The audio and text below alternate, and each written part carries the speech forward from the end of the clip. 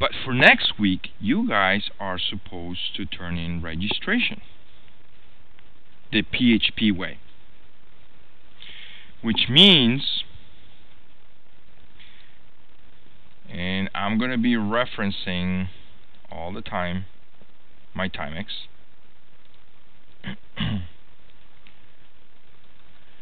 if you guys remember, and I'm going to show you the static version on my website. These are my 10 pages, no code. It fools you, right? Because it seems to be working. Everything is linked together. Basically, the same stuff that I expect to see when I grade your assignments that you turn in Sunday. Okay? And registration is one of them. So notice that in registration, it does not allow me to register when I have blank.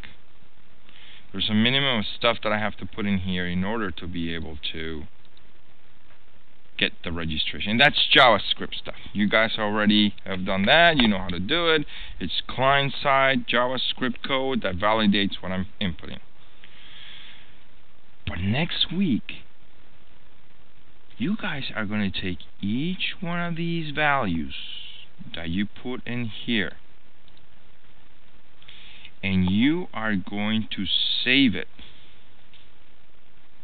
into the database that it's due two days from today into your user employee I don't know yada yada yada table okay? Whatever you call it. If you guys remember I share with you my database. That's what I thought. Okay. So here's my database. Timex. And here's my users or employee my case I call it employee table. And I have an ID which is automatically generated and a name and an email address an employee type a password which I'm not asking you to turn it in encrypted yet. You can turn it in clear text for now. Manager ID employee ID address city state zip code pay rate tax rate registration ID blah blah blah whatever all the stuff that makes up my users. Okay? I'm going to have to create a program in PHP that will capture all these and put in there. So let's go back and forth. Employer ID that's something that I input employee ID typically it's a social security number or some kind of uh, N number. Like the N number that NSU give us right? Just to make sure that it's not the social security number. That goes here. The full name. That goes here under name the password and re-enter password. Are you going to save both? No, doesn't make sense. You're going to save just the one. The other one is just for validation purposes. Okay, so you're going to save the password. The email address. The employee type. Notice that on the front, which is supposed to be user-friendly, says hourly, manager, executive, administrative. But on the back, which I don't really care about friendliness in the back, I care in the back is save the data quickly. Okay? Notice that in the back, I save H for hourly, M for manager, E for executive, and A for whatever the other one was. Okay? So you somehow you're going to have to do that conversion. Do you? Eh. Not if you design it correctly. Let's do a firebug on this guy. What is it? A select statement. You guys see this? Just because I display hourly doesn't mean that the value that will get passed to the back should be hourly. It can be age. Same with manager, same with executive, same with administrative. That's where the value is coming from. Right. What else?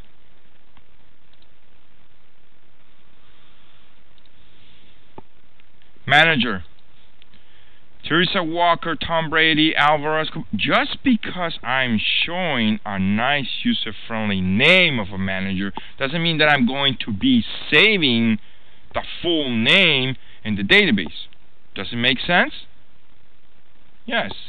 Because if I allow my employees to type their manager's name, I'm going to get for the same manager 10 different names. Spell out differently. Oh, I don't know. Is it a C? Is it a Z? Is it an S? I don't know.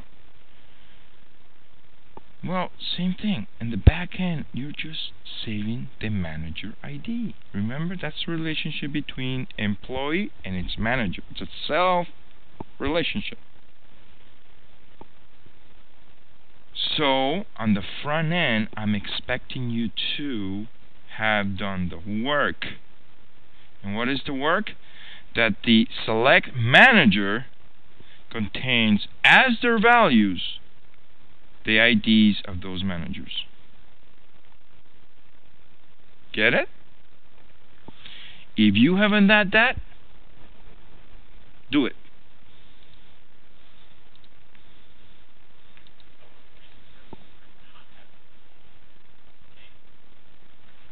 What's the reason for not having the full name? That's a very good question. Okay. What if instead of passing Teresa Walker's employee ID, you pass the full Teresa Walker name? What are you going to save in the registration table under employee ID? I mean, under manager. Their full name?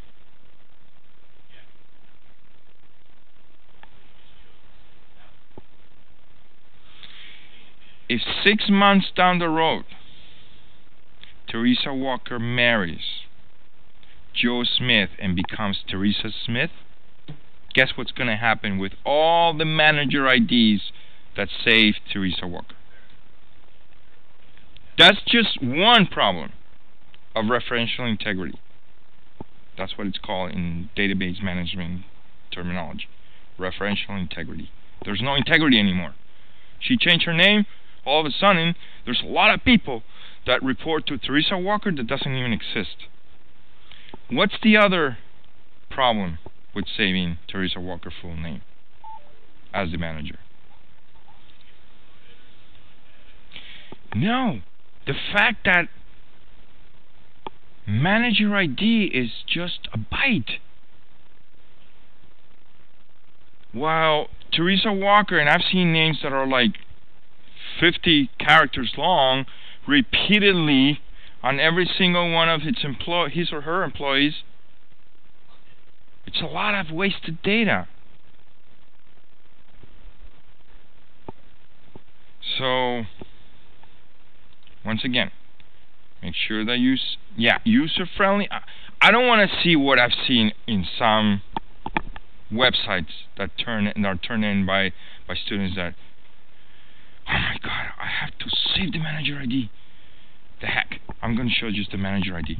So I see under here, I see manager 1, 4, and 5. Oh, like, are you serious? Like, am I going to know who is manager ID 1, 4, or 5?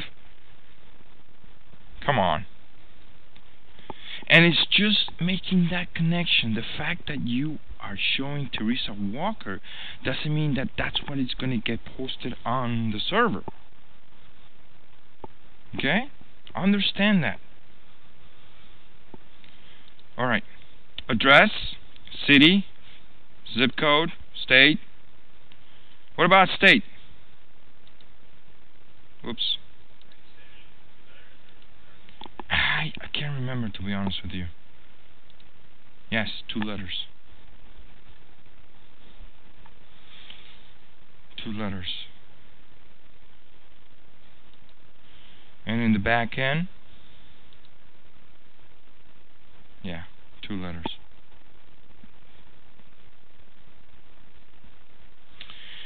Now, everything that I ask in registration is saved in the database? It should. Is everything that is in the database coming from the registration? Just go through the fields. Is pay rate coming through registration? Oh, cool. I can decide what my pay rate is in registration. Does it make sense? That'll be nice, right? But it doesn't make sense. Tax rate. Is tax rate coming through re registration? No. Is this registration date coming through registration? No. I don't get to decide when I registered. That's a time event. And you guys have to fulfill um, the goal of trying to keep the truth on the registration. Which means the employee should not tell you when he or she register what's their pay rate, what's their tax rate, or when did they register. And indeed, those are three fields that are part of registration, that are part of the employee, I should say, I'm sorry, that are part of the employee. Okay? So somehow, we're going to have to be able to fulfill those during or after registration. So how on earth do we get this data saved in the database?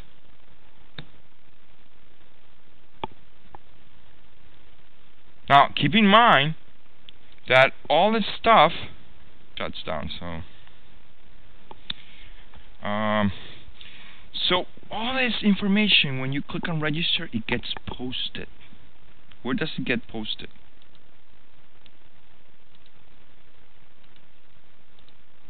You guys remember?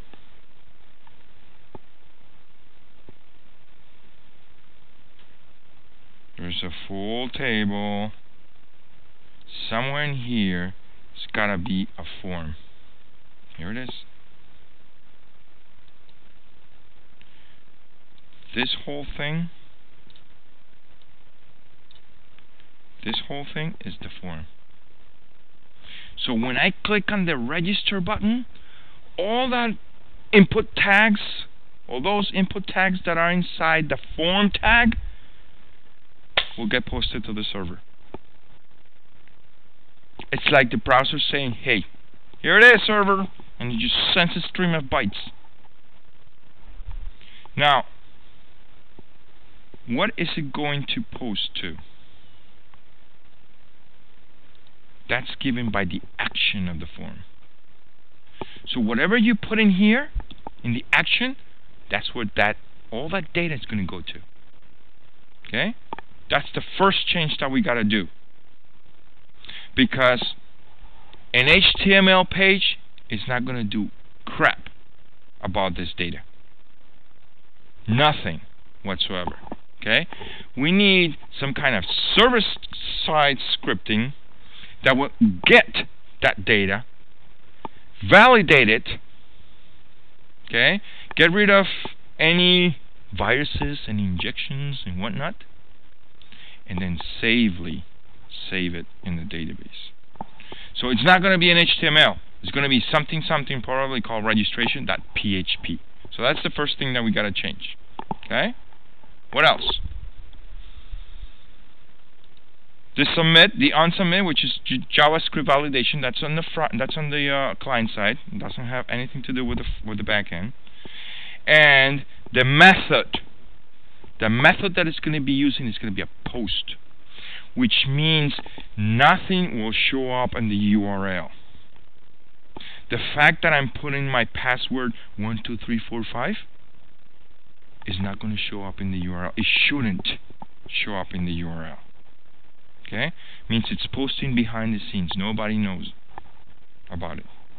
It's getting posted. It's a post.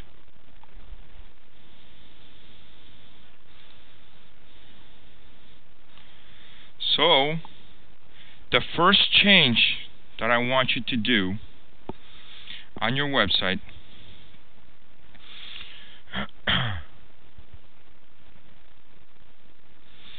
and this is the website that I have in my case right? I have all these HTMLs this is the eighth week, my eighth week version of the 10 pages all linked together that you guys have been looking at running right now. Um, the first change that I want you to do is take registration page and rename it from .html to .php. That's the first thing that I want you to do. Okay? And then take the form action and put in there registration.php which means when we hit registration PHP it's going to render the entire form empty we're going to be able to fill it out and when we click on register button it will post onto itself. But basically when you register you should be able at that point be able to log in. And that's why you're sent to login page. Yes you could do it that way Stefan. But it's going to be much easier to do it posting onto itself. And I'm going to show you why. I'm going to show you the registration that I created in PHP is modifying the existing HTML page by starting to rename it as PHP and adding the code. Okay, so I'm going to go straight into, at this point, I don't want anybody to get any ideas, like some of the students in past semesters. Do you believe they took the static HTMLs they renamed to that .php and that was the last project that they sent as a PHP. Obviously when I added something in the database and I expected it to see it in their pages, it never came up. Because it was they were still static even though they had PHP extensions. Not a good idea to do that. Not a good idea to do that.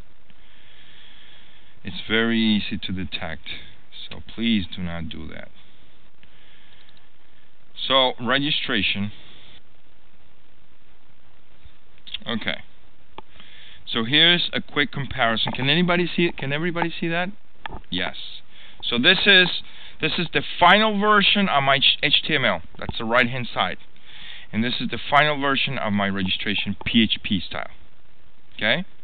So what did I do? And this is something that I want you guys to start doing with all the rest of the pages. Obviously registration is only the first one, right? But you're going to end up doing the same with all the other ones. You guys remember when I said when you guys build your menus, your JavaScript menus, and you found on your homepage that they look nice, they work, what do you have to do for all the other pages? Just copy them and paste them on every single one of the others so that you have the same menus all across. Right?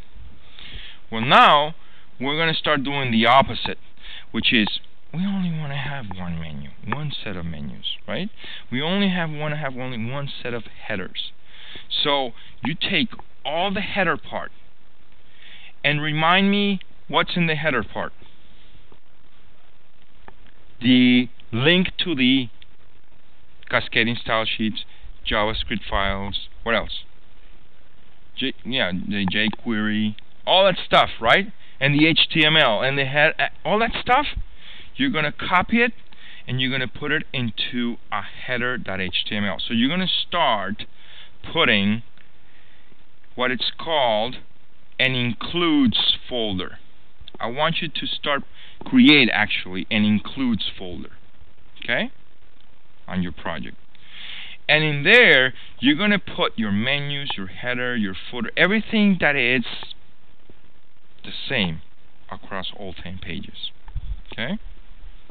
Okay, so once again, how how in PHP how do I include other sources inside the PHP content? This is it.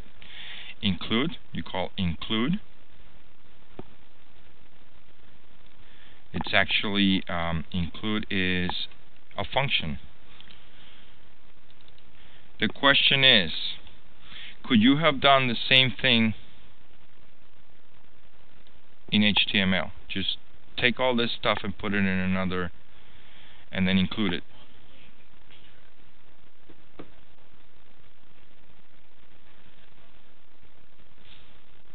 No, the answer is no, otherwise we would have done it. In fact, we would have done it with the menus. Remember the menus, when you once you get the one menu, you had to copy and paste it in every single HTML page?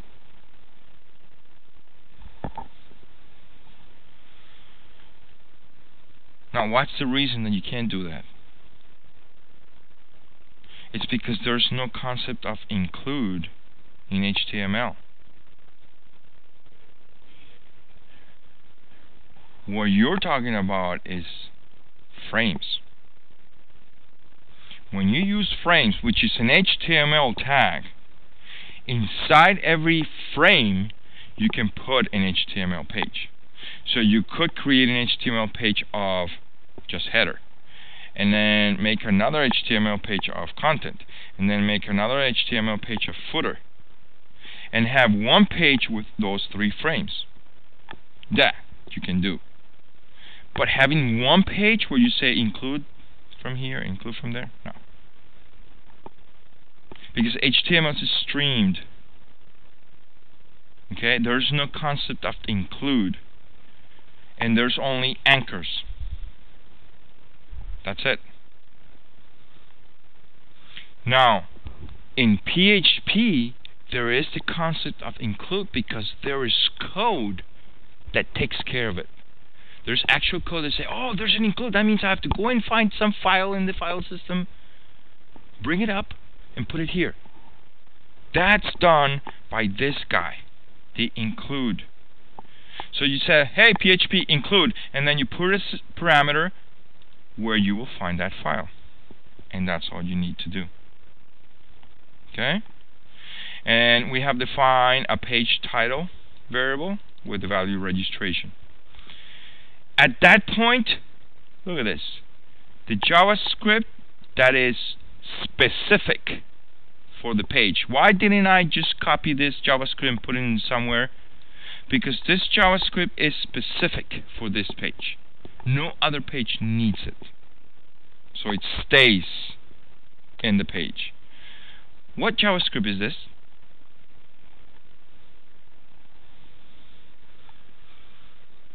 the one that validates that I have a username, a password, an employee type, that I make sure that I have a manager selected, that I make sure that there's a state, and if none of them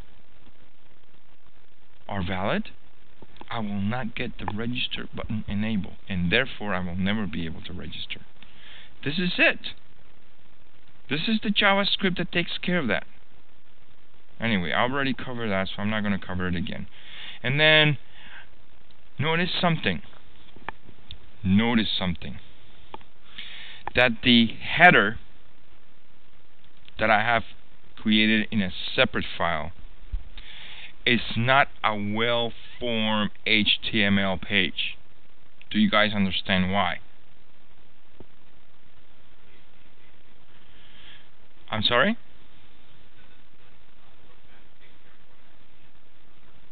because it's going to be included somewhere else that will take care of ending the un, un, unclosed or not closed tags like which one HTML. HTML hasn't been closed here.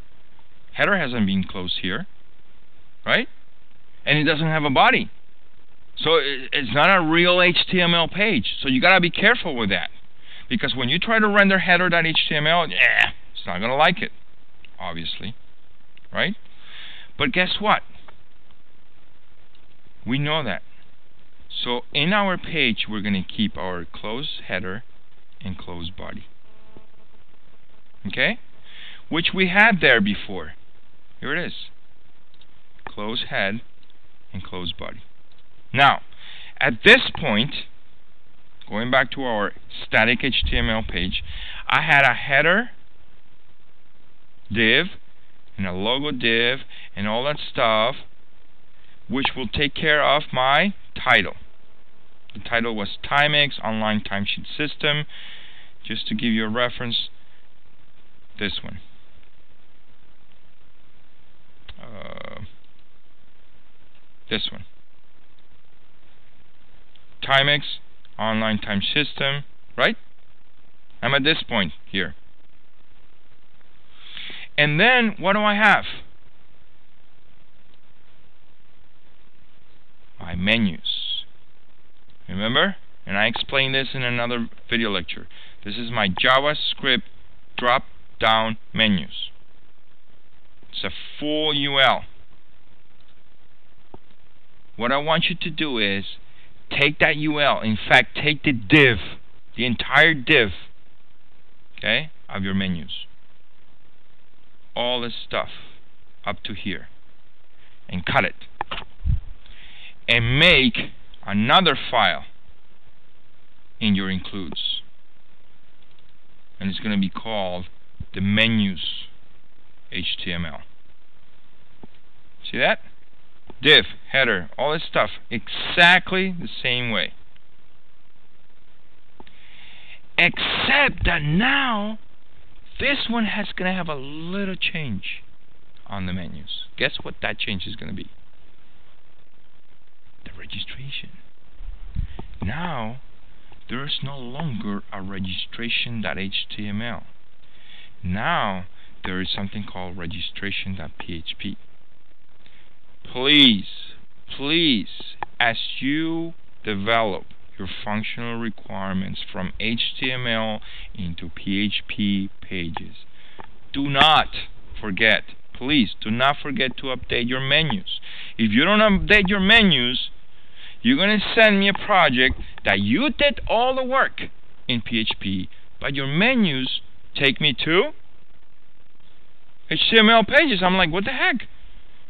I'm going to go and add a record in the in the in the database, and I'm going to go and hit your menus, and I still see the same information. I don't see where is my information coming from the database. So why? Because I go and look at the URL and I see ah, oh, HTML. So I have to go there and delete, delete, delete, delete dot PHP so I can get your page. Don't forget. So every time that you change one of those pages from HTML to PHP, update your menus. Okay, so what's the other change in the registration? Obviously, you're going to say, hey, PHP, I want you to include the menus. And now we're up to this point. Up to this point. Okay? So I have done already all this stuff. All this stuff in here you see up to here with includes. The first thing that you're going to notice is that your huge HTML pages are going to get cut down by half or more because of all these includes. Okay? So all you're going to do is concentrate on the actual code that you need on that page. Okay?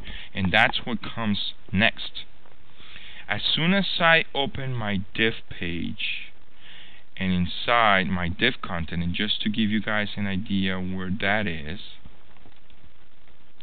I'm going to use Firebug. This is my sidebar. This is my content. And they're both inside a div page. Okay, so the entire page is made out of the content and the sidebar. Okay. So I'm going to keep the page and then right before the form right before the form I'm going to put code that it's going to ask hmm is this the first time that I come into this page?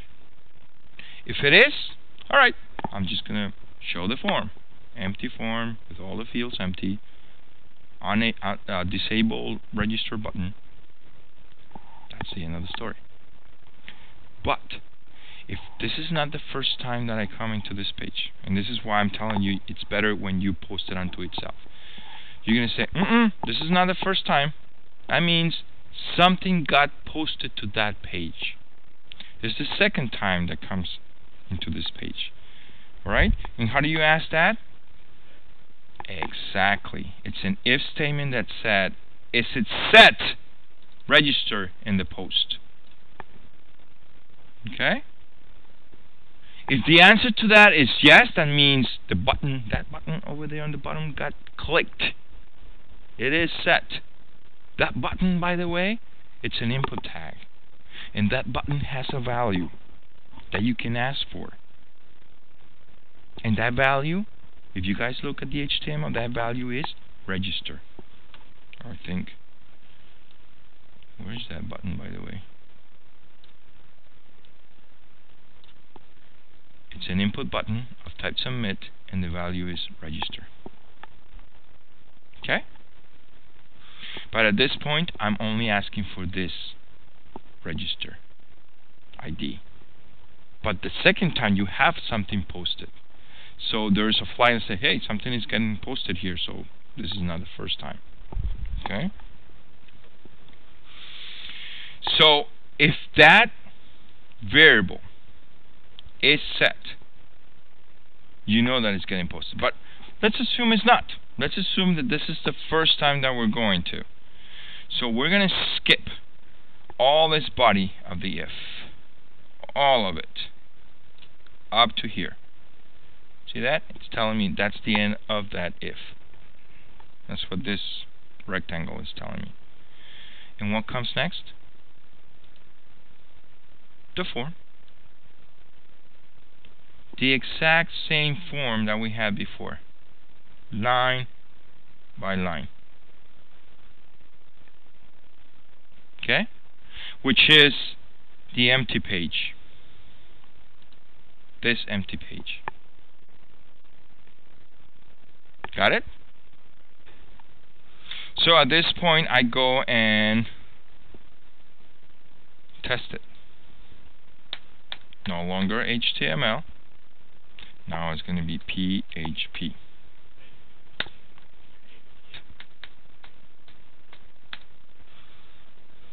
Yes. You guys see this? This is PHP.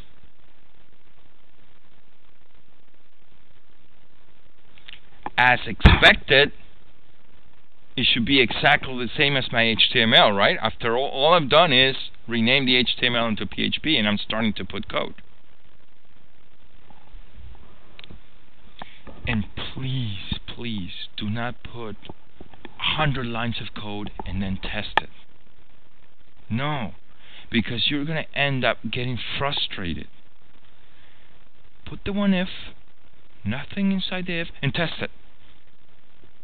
Then put something inside the if, one or two lines, test it if there's something weird, some formatting that gets screwed up, you immediately know that the last change that you did is what screwed up. Look on the bottom. I know, it's too tiny. Sorry. It says registration.php. It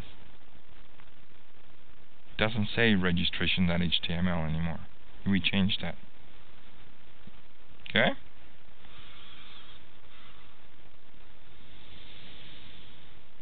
Okay. Let's go into the actual code. This is the fun part. Okay? We're going to go into the code. Because the rest of the stuff is almost the same.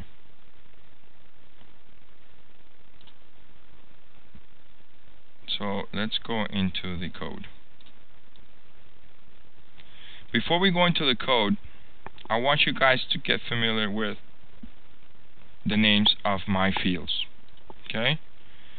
The employee ID is called username. And remember, we go by the ID, not the name, the ID. That's what gets posted. Okay? In fact, what gets posted is a hash map, and I covered that in the first video lecture. A hash map with name, value.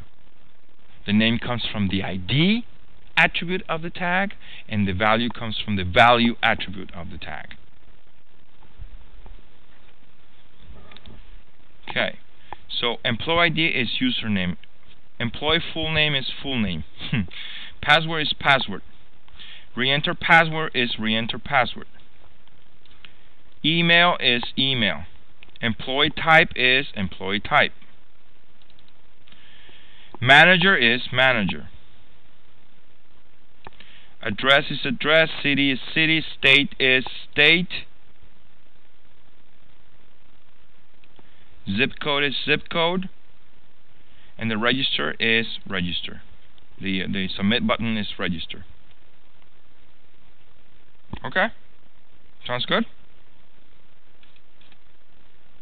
Let's look at the code. The code said, okay, if register is set, that means there's uh, data posted in here. This is what I'm going to do. The first thing that I'm going to do is I'm going to open the connection to my database. And I went through this in the first video lecture. Okay, there's a set of steps that you gotta take to open the um, the database. The problem is it's the same three steps that you're going to have to do on every page. So it's code that makes sense to just put it aside as a separate PHP and then include it. And that's exactly what I did here. I said require once this code. Whoa. Wait a minute. Didn't you say it was include? What's up with this require once? So it's an include. But wait a second. The included the file has PHP, PHP code that gotta be run. You guys all this time have been thinking about client side. Just HTML, this happens on the from here on, you guys are going to have to imagine that this stuff is not happening on the, on the browser. It's happening somewhere in some web server away from the browser. Okay? So this is all stuff that when somebody hits whatever, whatever, whatever, registration.php, and you hit that and you that do that request to a web server, the web server, before it sends back the response, is going to see, wait a minute, this is PHP. That means I'm going to have to do a lot of work before I actually produce the final HTML that my browser is waiting for. Okay? And this is one of the legwork that they, it has to do. It has to include this page, so it has to go into the file system and include it. And it and it has this file that it has to include and interpret. PHP is interpreted. PHP is not compiled, guys. It's not like Java. There, there's a compiler. You do a modification, then you tell the compiler to do bytecode. And then you execute the bytecode. Then you go and modify the source code. Then you tell the compiler to uh, compile it, and then it generates different bytecode. No. This is interpret. Which means the Apache, the WAMP that you guys install, okay? The, web, the Apache web server that only knows about HTML, when it sees somewhere in there in the URL a PHP, it's going to say, oh my god, I know who can take care of this. There is somebody called a PHP interpreter and it just sends it to that guy. It's a dynamic link library that gets installed in the case of the Windows version. A dynamic link library that gets installed that will take that request from the Apache web server and says, oh, okay, I have to run this code. Okay? So every time, every time you see this, open PHP, close PHP, that's a call from the Apache web server to the PHP interpreter. I don't know what this is. You take care of it. I don't know what this is. You take care of it. Okay? So, in this case, in this case, we're telling it that we are requiring this file. So it's going to be included and interpreted. Not only that, I want, I require it once and only once. Which means if my page requires this MySQL I connect file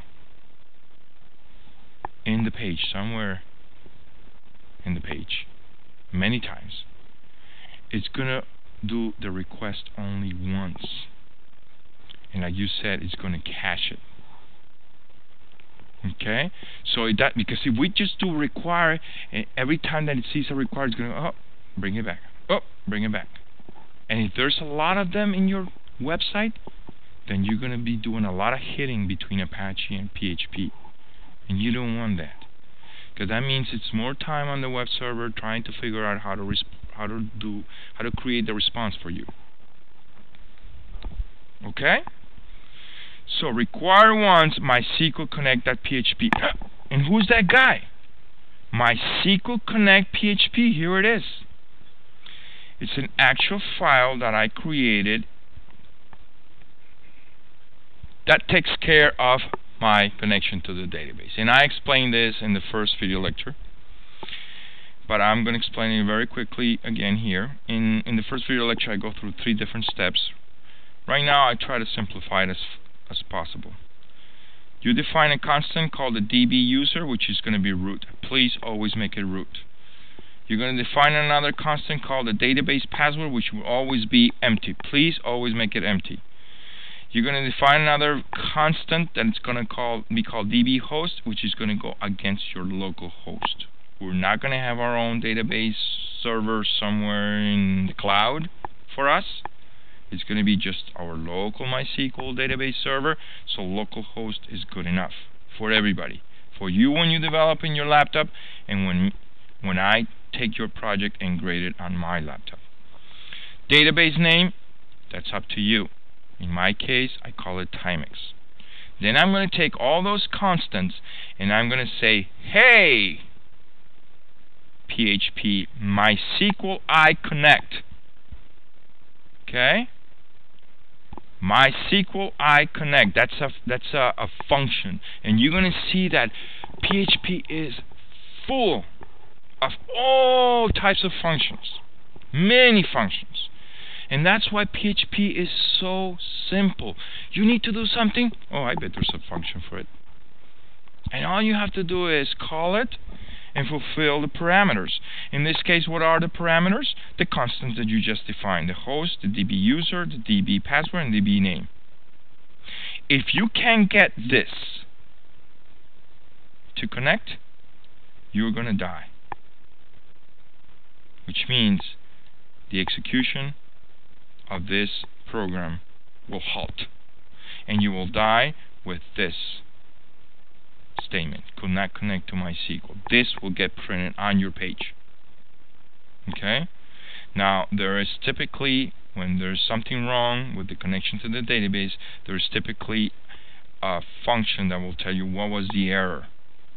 So you call that function, and it's MySQL I connect error. It will tell you what was wrong. Oh, the database is down. Oh, the password is wrong. Oh, whatever. Okay?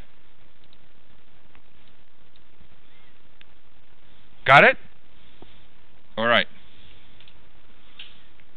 So now you're requiring this MySQL Connect. That means that code that you just got that I just got explained will get loaded and run before this one is run. Now we're going to initialize an error array. And this is what I'm going to do in this with this error array.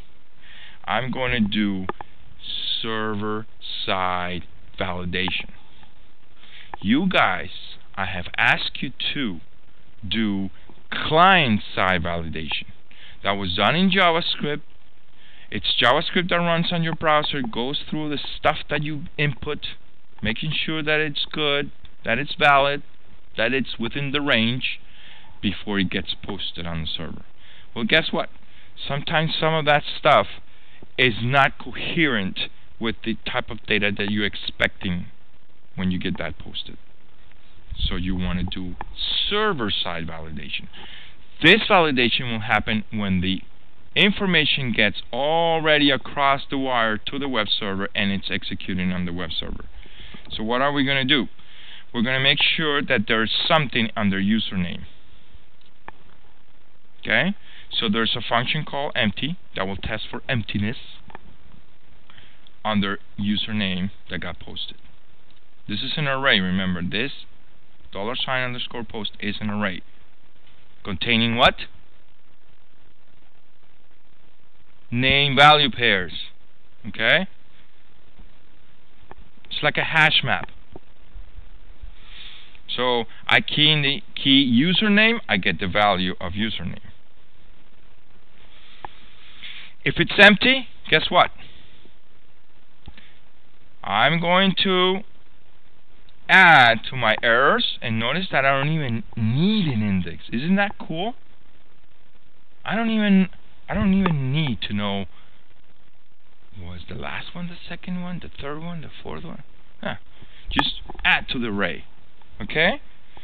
So I add to the red, You forgot to enter your username, whatever. Some kind of error message that displays, hey, what was wrong here? Okay? Otherwise, what are you going to do? You're going to use another PHP function. In this case, called a MySQL I real escape string function. And keep in mind, I'm not going to go through each one of these functions, okay? And, and PHP has a lot of them.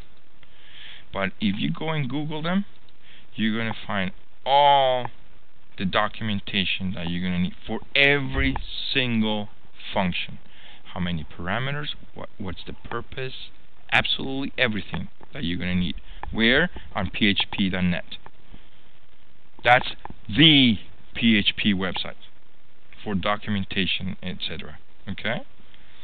So as it says, this function is used to create a legal SQL string that you can use in, in as a SQL statement. In other words, you're going to make sure that they didn't put some kind of query as a username. That when you try to save it in the database, it's going to execute something in your database and it's going to delete stuff or it's going to allow them, I don't know, raise their pay rate or whatever, you know? Do some kind of what it's called SQL injection. That's very common and it's a security threat. So MySQL real escape string is going to make sure that username, the value of username after it's being trimmed, that the value is going to be uh, escaped. I mean, it's got nice SQL, ready for a SQL statement under that DBC. Do you guys remember that DBC? Where did, where did we get that DBC? in the MySQL Connect. Exactly. That's the guy that will save our connection to the database.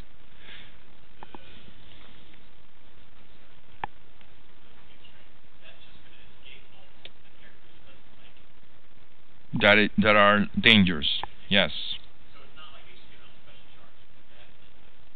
Any of those escape, like backslash whatever, uh, you know, yeah, all that strange stuff that is not supposed to be a username, we'll get rid of it. And it does the same thing for full name. What if I didn't enter a full name? Then you forgot to enter your full name. It goes into the errors. Otherwise, you're just going to trim it and then escape string it and then put it in here. okay? So at this point, you are creating new variables. Username, full name, email, password. Excuse me. Notice this.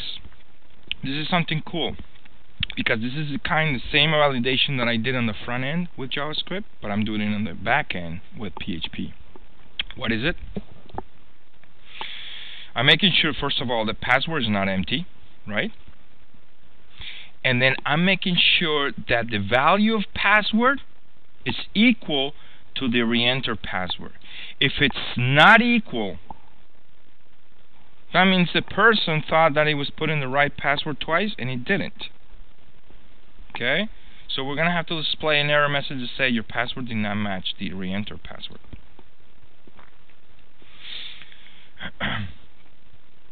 and if the password is empty, then you forgot to enter your password. Right? So if it's not empty, we'll try to make sure that password and re-enter password are the same. But if it's empty, then it's going to go into the else, and it's going to add to the array you for, you forgot to re-enter your password. and then at this point, what you do is you don't care about the rest. If there's a manager, if there's an employee type, if there's an address. This is just a business, a business rule that I set. Okay. What you do is you just escape all the other values. You don't care if they're empty or not. You escape the manager, you escape the employee type, you escape the address, the city, the state, the zip code. So at this point, you have a whole bunch of variables representing in PHP each one of the values that came from that form. Cleaned, massaged, and ready to be saved in the database. Okay? So what's the first thing that you ask? If errors is empty. What does that mean if errors is empty? That means I went through all the validations and I didn't find anything wrong with my stuff, right? So this errors here is initialized as empty. If I go through all this validation and I never set anything to errors, errors will still be empty at this point. So everything is okay. Then what do I do? Ah, I create the query with all those variables. And I don't expect you guys to know how to do the query because that's obviously a database management system course in its own. That's SQL, Structured Query Language. But, if you guys remember, I asked you to create a backup of your project, um, of your database. In fact, that's what's due two days from today. If you take a look at the backup of my database, you will see that it creates department and inserts departments. It creates employee and inserts employees. This is this is an example right there. This is an example of a structured query language that inserts one record into your database. And what you have to do is take a copy of that, okay, put it in your code,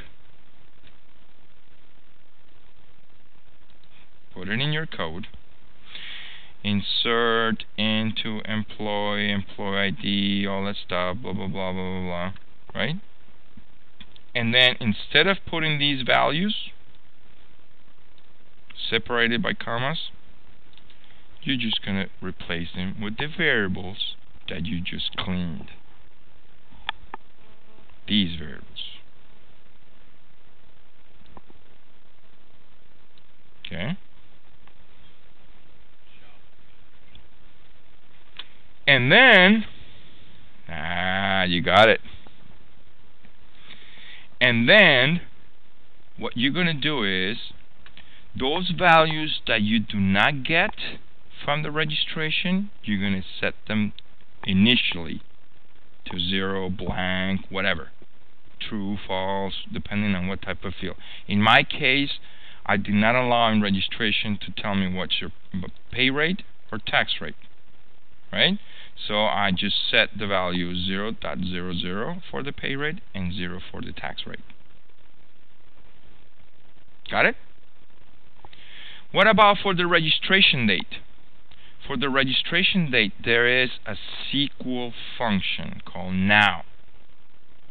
N-O-W, open parentheses, close parentheses. Any database, relational database management system knows that now means putting here the timestamp right now. So it will get registered when this employee registered.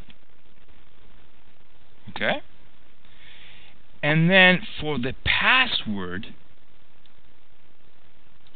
there is a function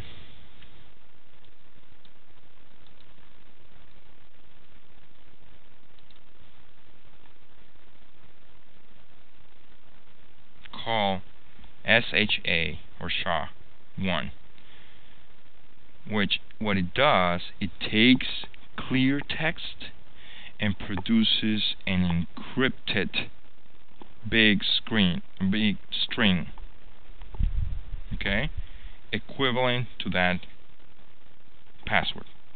It's a hash function which means you cannot take that huge encrypted string and reverse it and figure out what was the original password. It's a one-way function. That's what you want. You don't want anybody to be figuring out anybody's passwords. Yes. It's set as varchar 255 because SHA will generate 255 characters and it's going to be all kinds of characters, capital letter, lowercase, numbers, blah, blah, you know, all kinds of characters. That will be the hashed equivalent of that password. Okay? It has been proven that it's not the safest anymore. There is a way to figure out how to do the unencryption of a SHA-1 which is why they came up with SHA-2 much harder. And about a few months ago they came up with SHA-3 so far impossible. So I don't know if PHP has. They probably don't have SHA-2 yet. Let me see if they have SHA-2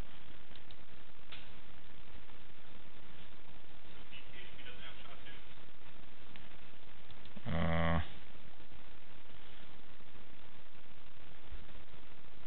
crypt. Maybe it's called crypt. I don't know. Or maybe you need a special library. Yeah. Don't use don't use any any uh, any any anything different than SHA-1, please, because sometimes what I do is I take my password one two three four five, generate the SHA, and then just put that SHA in your database. So whatever password your users chose to register as, I'm going to turn them into 1, 2, 3, 4, 5. so I can test your stuff. You know what I mean? Alright.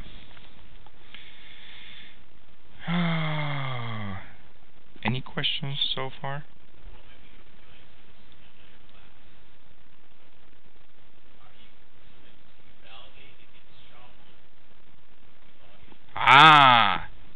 That's a very good question, Stefan. In fact, that's something that is coming up following week.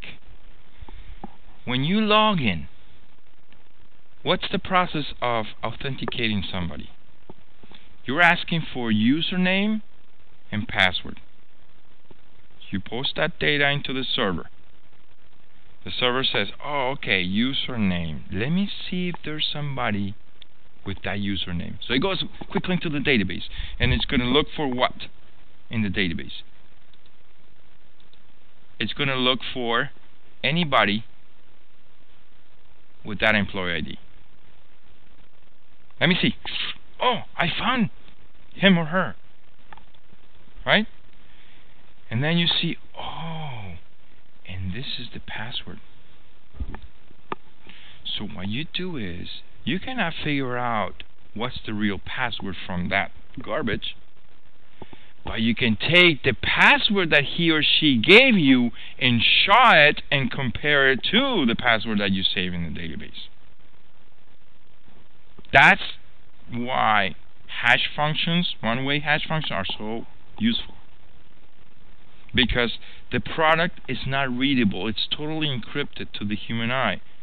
And yet, with the same password, you can always get the same hash function result. Okay?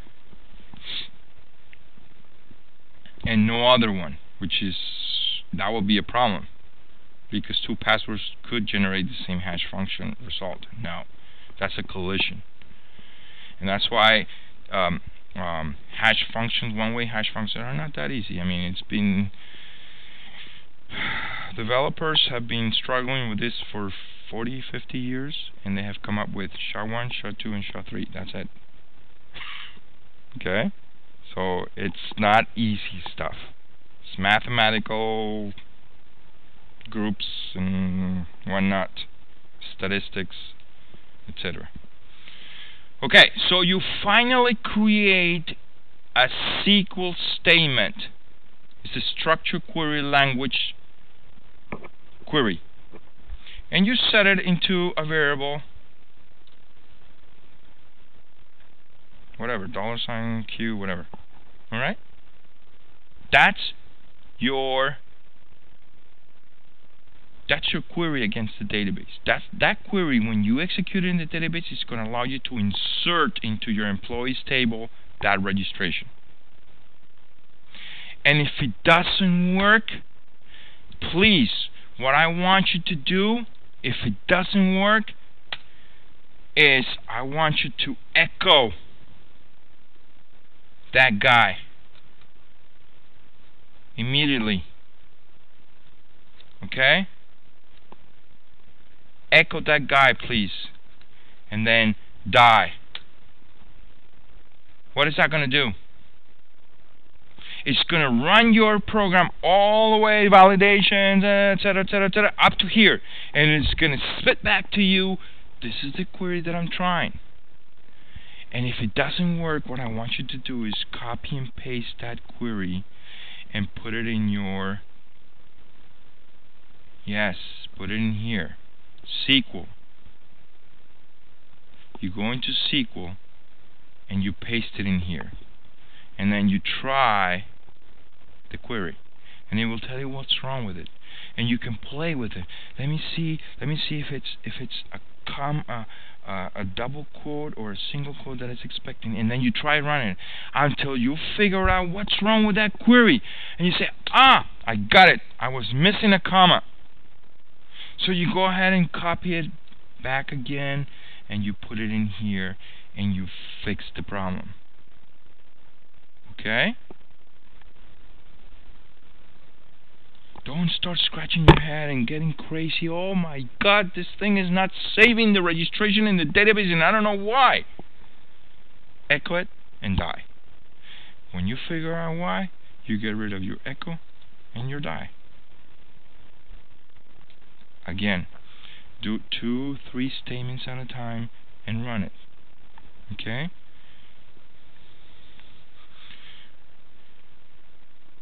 What else? You finally say, hey, database, run this query. So you pass the connection to the database and you pass the query. And it should come back with true or false. I did it or I didn't and then you test.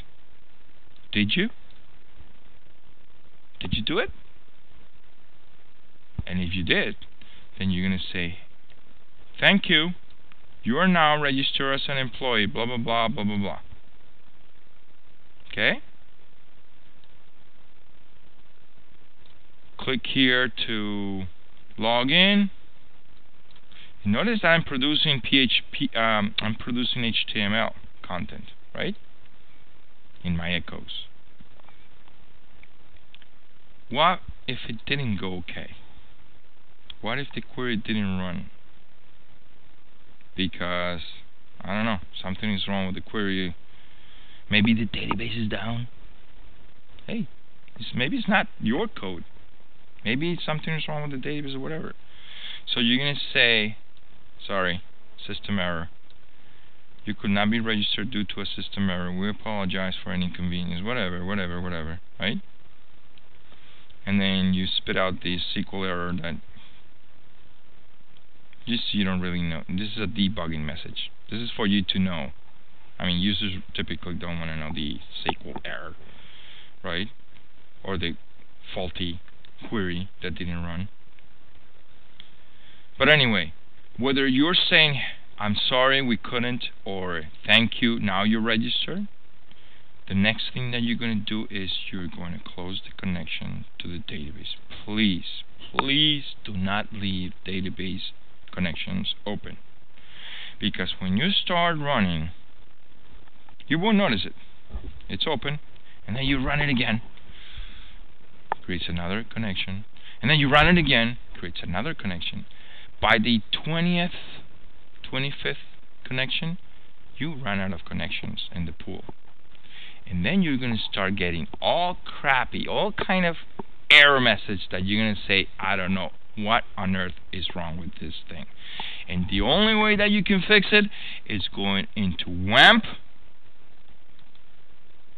going into your WAMP, going into MySQL, and stopping the service and restarting it. Okay?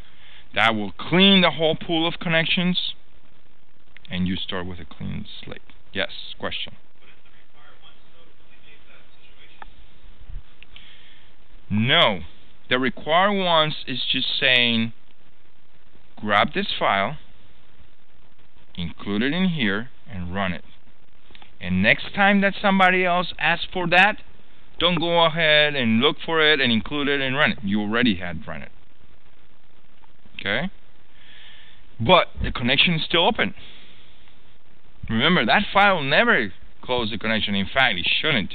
Because if it closes the connection, then we can't do any of this query stuff. So right after you have done all the query stuff, please close the connection. And then look at this. Uh, the footer gets included. Where did that come from? Well, if you guys take a look at the registration HTML, right after the form,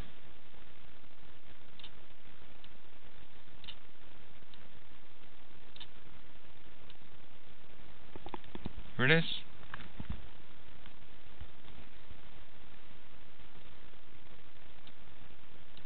There it is. This section. Copyright 2012 Timex Online Timesheet System, Acme Company, whatever, whatever. What I did is I put it in the footer HTML and then I include it. So cut it from the page, make it a footer HTML, include it. That's it. Exit. That means we're done. Okay? But what if, what if we didn't get empty errors? Right now we're going through the nice path that's everything is cool, right? I was able to register, I was able to do everything. What if there's errors? You can't save this stuff into the database. You can't run any queries to it. Okay? But you got to report it. So what I need you to do is go through your errors and display them on the page one by one so the user knows what's wrong with the uh, with the registration. And how do you do that? Say, hey, there were errors. The following errors occurred, and then you do it's an array, right? So for each member in the array, you're going to call in message. What you're going to do is you can display the message. Next line. display the message next line. And you're going to do that until you exhaust all the errors. Please watch the first video lecture if you don't understand this syntax. And then at the end you say please try again. So you're going to end up with a page like this with errors here.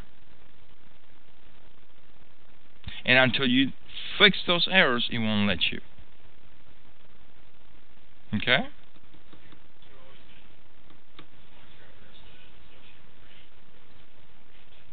That's one of the ways. PHP also has for loops. And then make sure that you close your database connection. Okay? At the end of every possible end of the road. Like this was an end of the road for successful registration so you gotta make sure that you close the database. But this one is an unsuccessful path right? So you gotta close the database as well. The rest of the stuff look at this the rest of the stuff is the exact same HTML that you guys gave me. The exact same HTML that you guys gave me. So all you have to do is work on the PHP code. Now the PHP, co PHP code will generate HTML okay? And that's something that I want you to keep in mind. If my HTML has a cascading style sheet that make H1 a certain way and I want it another way or I have to indicate a class then you gotta put it in here H1 class equals whatever because if you just leave it like that like H1 you're going to see the nice page the way that you submitted to me last week, right? And then you're going to see this thank you, which is like, Ugh, what is that thank you doing in the middle of that page? Doesn't have the same look and feel as the rest of the page because it's missing the style. Okay, so make sure that even though you're generating this code in PHP, you're generating this content, I'm sorry, in PHP code, you gotta stay loyal to your styles. So make sure that you make that H1 with your styles. Well, remember, the styles are applicable to HTML tags, and this is an HTML tag.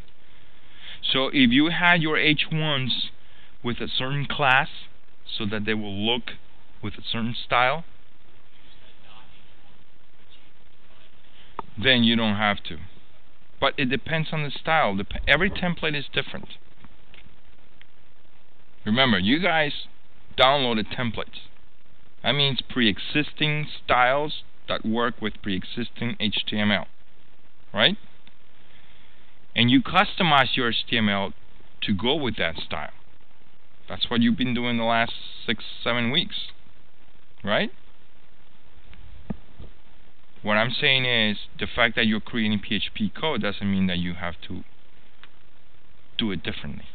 You have to be faithful to those styles even in PHP code.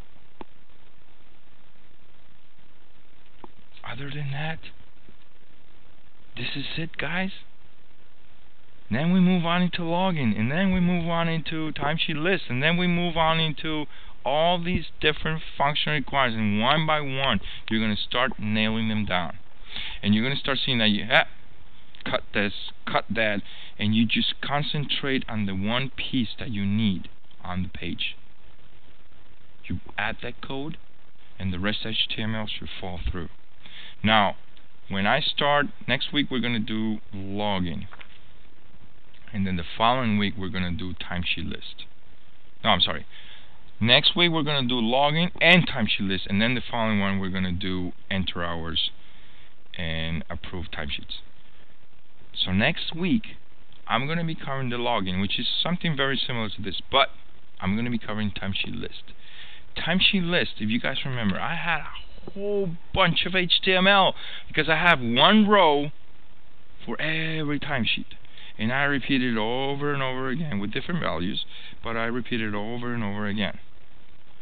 You're going to see that all that stuff gets deleted. You just keep one timesheet the way the it's displayed and you just modify it to include the name of the variables, the PHP.